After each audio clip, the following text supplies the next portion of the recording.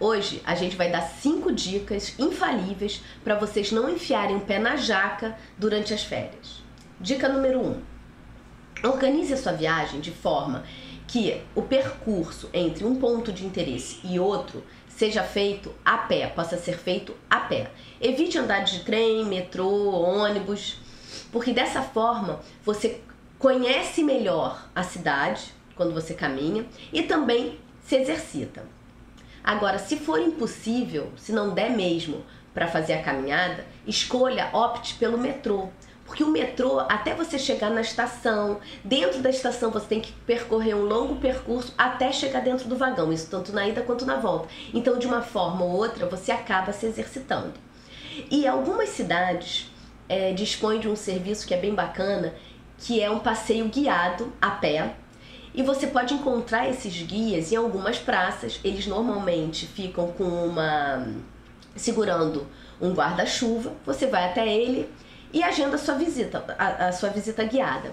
O bacana é que você acaba conhecendo lugares, locais que a gente jamais conheceria se não fosse com a ajuda de um guia.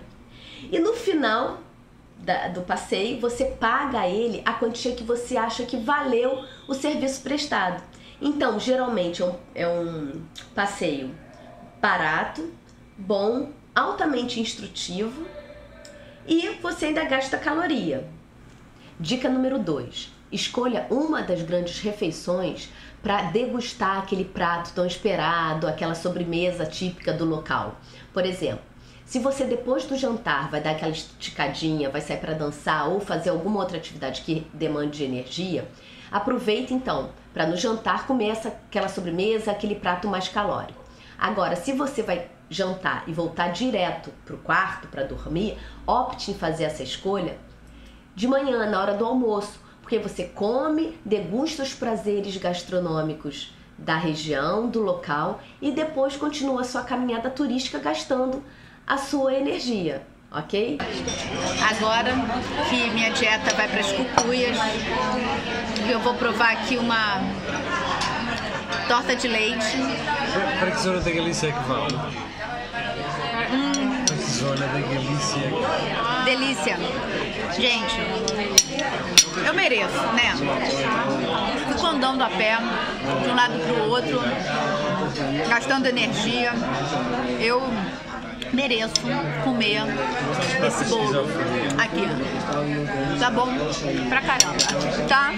Tchau, tchau. Sem neuro. Dica número 3. Durante o café da manhã, coma aquilo que você normalmente come. Não é porque o hotel oferece todas aquelas opções que você precisa ingerir aquilo tudo. Tem gente que chega no hotel, vê aquilo tudo e come como se não houvesse amanhã. E pensa, ah, eu tô pagando, eu tô comendo. Exatamente, você está pagando, está comendo e está engordando. E aí depois você vai continuar pagando, porque você vai lá no meu consultório querendo que eu faça um milagre. Eu não faço milagre, a gente não faz milagre. A gente precisa da colaboração de vocês.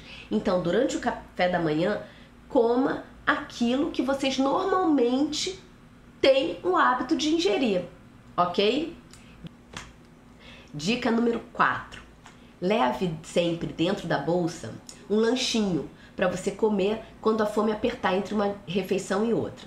Por exemplo, pode ser um mix de nuts, pode ser uma barrinha de cereal, uma, um pedacinho de chocolate, pode ser uma fruta. Mas quando a gente fala isso, a gente não está querendo dizer que você tenha que levar na bolsa o pacote inteiro de castanha ou o pacote inteiro de damasco, um cacho de banana. Não é nada disso.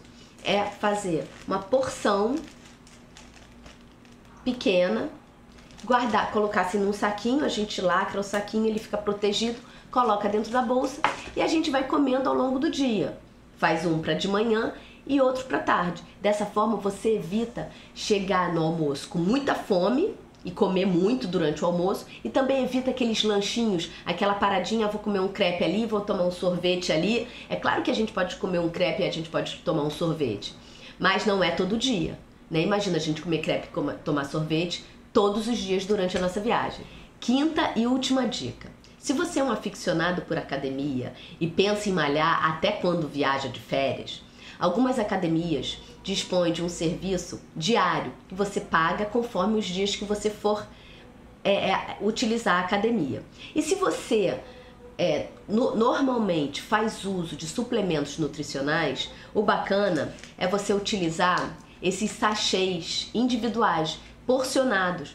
É, você usa um por vez, facilita a sua vida. Isso não faz grandes isso, isso não faz um volume grande na bagagem e o melhor, você volta sem isso, ou seja, você vai com a sua bagagem mais vazia do que você foi. Isso facilita muito a vida. Eu lá em Madrid levei um para cada dia de todos os meus suplementos, tanto do Collagen Tech quanto do, do Juice Plus. Eu tomava todos os dias, isso não teve problema nenhum na minha bagagem com alfândega, nada. Foi muito fácil e útil para mim, porque eu pude ficar um mês que eu fiquei lá, eu pude é, continuar a minha rotina de atividade física com a suplementação que a minha nutricionista prescreveu. Então é isso, gente. Quem quer, consegue. Né? Quem não quer, arruma uma desculpa. Isso é uma verdade para tudo na nossa vida. Então é isso. Espero que vocês tenham gostado das dicas e a gente se vê da próxima vez. Tchau, tchau.